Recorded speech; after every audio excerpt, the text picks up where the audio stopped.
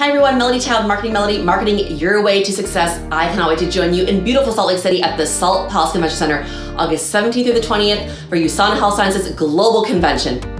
This year, USANA is celebrating 30 years, and to celebrate, we're gonna make sure we leave with takeaways that we can apply to grow our business immediately.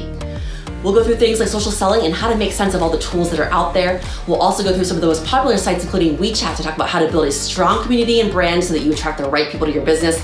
And of course, we'll go through the latest tips, tricks, and trends for WeChat and other platforms so that you can really take your marketing to the next level.